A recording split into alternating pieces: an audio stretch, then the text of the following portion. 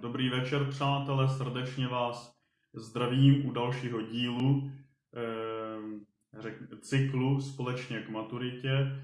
Pokud teda máte zájem, tak eh, připomínám vám, že se můžete přihlásit k odběru, aby potom ostatní videa, která natočím v rámci tohoto cyklu, aby vám třeba neunikla.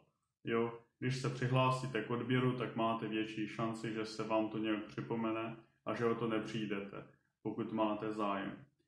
Eh, naším dnešním tématem bude další maturitní okruh, který se nazývá fenomén svobodných voleb. Eh, svobodné volby jsou vlastně, řekněme, nedílnou součástí, neodmyslitelným atributem takzvaných liberálních demokracií. Liberální demokracie je státní zřízení, státní uspořádání, všech zemí západního světa současného, alespoň se k tomu hlásí. No a hlásí se k tomu vůbec jakákoliv země eh, ve dnešním světě, která se snaží se alespoň tvářit jako jakž takž moderní. Takže fenomén svobodných voleb je to něco, co je, řekněme, základní charakteristikou liberální demokracie. To znamená, že lidi u moci se střídají prostřednictvím voleb. To znamená, že předání moci není násilné. To znamená, že řekněme, ta společnost je natolik vyspělá, že ta moc se svěřuje na základě nějakého konkurzu. A tím konkurzem jsou třeba volby. Volby jako takové jsou projevem nepřímé demokracie. Nepřímé proč? Protože je to demokracie, ale nerozhodujete vy bezprostředně, jako třeba v referendu, ale rozhodujete zprostředkovaně. Znamená to, že vy svou moc, svoji suverenitu vlastně svěřujete do rukou politické reprezentace. Politická reprezentace je nějaký orgán, proto se mu také často říká reprezentační orgán, který, jak už můžeme odvodit zase etymologicky od toho slova reprezentácio, zpřítomňování, vlastně zpřítomňuje vás jako, jako nositele třeba státní suverenity. Jo, třeba nositelem suverenity České republiky je občan. Jo, každý z vás je vlastně nositelem suverenity České republiky. A vlastně vy ve volbách pověřujete někoho nějakou funkcí. Jo? Tak třeba e, pověřujete někoho, aby byl poslancem, aby byl za vás jakoby poslán do toho reprezentačního orgánu, do toho třeba zákonodárného sboru. Nebo zase někoho pověřujete tím, aby byl prezidentem, jo, aby předsedal ve státě a tak dál a tak dál a tak dál. A vlastně eh, ty volby mohou probíhat eh, dvěma způsoby. Jsou vlastně dva volební systémy, eh, nebo respektive tři, ale ten třetí spočívá v kombinaci těch, těchto dvou základních. A to je poměrný a většinový volební systém. V podstatě tady základním, eh, řekněme, rozdílem je to, že u toho většinového volebního systému je to hra s nulovým součtem, jo, jak se říká v politologii. To znamená, že vítěz bere všechno. Je to vždycky hra o jedno křeslo. Jo?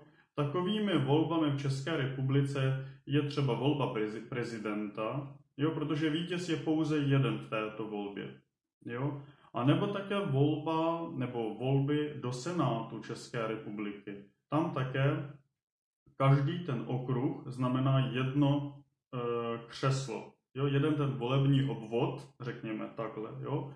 znamená jedno křeslo v tom Senátu. Takže je to většinový volební systém. Ten poměrný nebo systém poměrného zastoupení už je takový, eh, řekněme, složitější, sofistikovanější. Ten znamená, že se, mm, že se tam eh, dá to vítězství rozdělit. Jo, řekněme tak, že jeden volební obvod bude znamenat pět křesel v parlamentu. Jo, dejme tomu.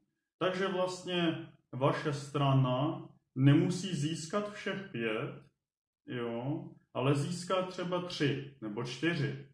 Jo, a nebo také získá jenom jedno, ale získá to křeslo. Pozor na to. Jo, čili ten vítěz tam nebere všechno. Jo, tam je to skutečně, tam, proto je to poměrné zastoupení. Jo, třeba takovými volbami v České republice jsou volby do poslanecké sněmovny parlamentu České republiky. Že vlastně tam se ta křesla přerozdělují na základě toho procentického zastoupení.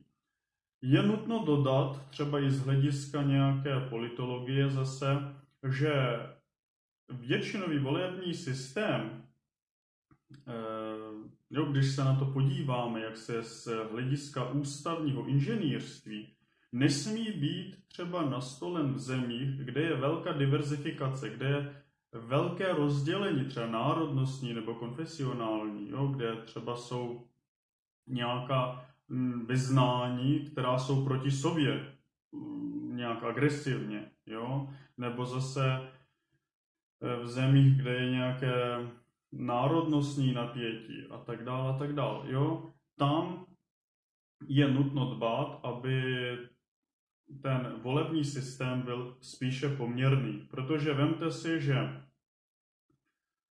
je to, řekněme, nějaká země, kde, kde jsou proti sobě, eh, no třeba Belgie, Vlámové a Valóni. Jo, tak eh, je dobré, když v té vládě budou zastoupeni jak Vlámové, tak i Valóni.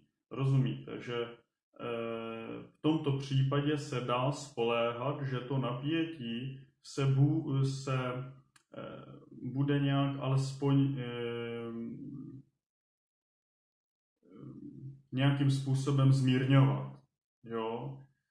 No, ten poměr, systém poměrného zastoupení je velmi výhodný v tom, že tam je šance, že ten reprezentační orgán bude odrážet skutečné eh, rozložení eh, politických sil ve společnosti. Jo? Bude odrážet skutečné zájmy toho obyvatelstva, tak, jak jsou. I když samozřejmě ve všech těchto případech dochází k velkým zkreslením, a mm, to je věc, která je asi možná nevyhnutelná, nicméně je třeba dělat vše pro to, aby se tomu vyhnulo. U toho systému poměrného zastoupení je velmi důležitý další pojem, a sice volební klauzule. Jo? Volební klauzule to je, řekněme, nějaké procento, nějaká hranice, kterou musíte překročit, abyste se vůbec zúčastnili toho přerozdělování mandátů, jo, neboli křesel, třeba v parlamentu. Vemte si, že kandidujete, vy jste v čele nějaké politické strany a tato strana získá eh, třeba 3% nebo 4%. Jo, je to, je to třeba i v České republice, je to značný výsledek, ale už se třeba nemusíte zúčastnit toho přerozdělování míst v parlamentu, i když skutečně máte nějakou voličskou základnu třeba. E, ta volební klauzule se zavádí proč? No, e, zavádí se právě proto, aby to přerozdělování a následné eh, vyjednávání v tom parlamentu, v tom zákonodárném sboru nebylo příliš složité. Jo? Ta volební klauzule může mít e, své mínusy a své plusy. E, dejme tomu, že volební klauzule bude nastavena e, vysoko, Jo, že třeba, tak koho to zvýhodní? No zvýhodní to přece velké politické strany. A v podstatě totálně vyřadí z té soutěže malé politické strany. Jaká je výhoda? No výhoda je taková, že ty velké strany, pro ně bude snaží se domluvit, rozumíte? do hry se vstupují takové jakoby nějaké monolitní, monolitní uskupení. Jo? Jaké, jaké jsou nevýhody? No, nevýhoda je ta, že právě ty malé politické strany jsou jaksi ze hry. Jo, jsou vyřazeny z té hry. Samozřejmě potom, když se ta klauzule nastaví jako nízko, no tak výhodou je to, že se tam dostanou i ty menší politické strany, ale zase nevýhodou je to, že se, že se zkomplikuje nebo může se zkomplikovat následné povolební vyjednávání. Takže ehm, zase je to takové, taková rovnice, takový, taková téměř věčná otázka pro ústavní inženýry, jak, jak tu volební klauzuli nastavit, aby, řekněme, byla optimální. Samozřejmě ty velké strany politické vždycky budou mít zájem, aby, aby se to maximálně zvýšilo.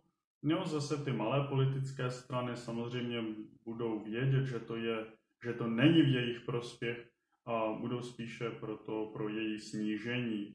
Jo, takže jo, dejme tomu, že ta volební klauzule je 5%, tudíž to znamená, že vaše politická strana musí získat ve volbách minimálně 5% jo, e, všech hlasů, aby se zúčastnila přerozdělování mandátů.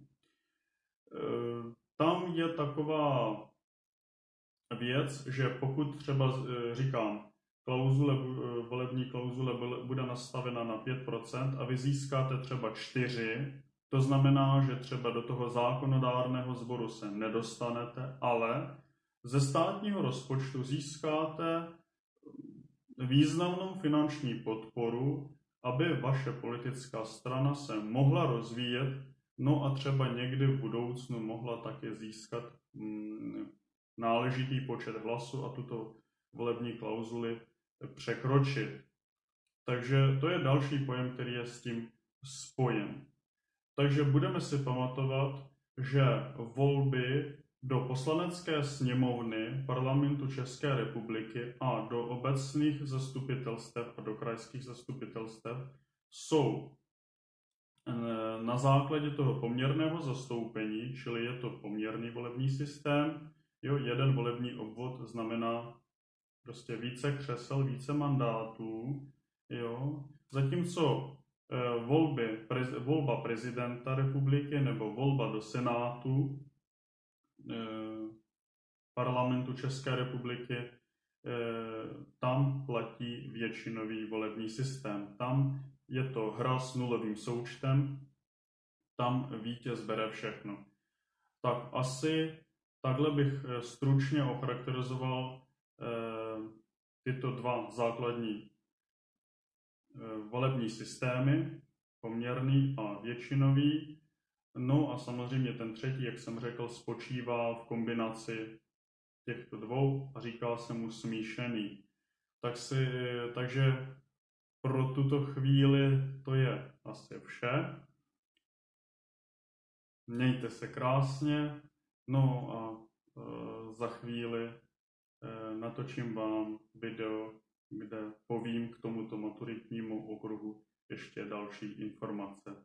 Takže zase, jestli chcete, přihlaste se k odběru a mějte se krásně.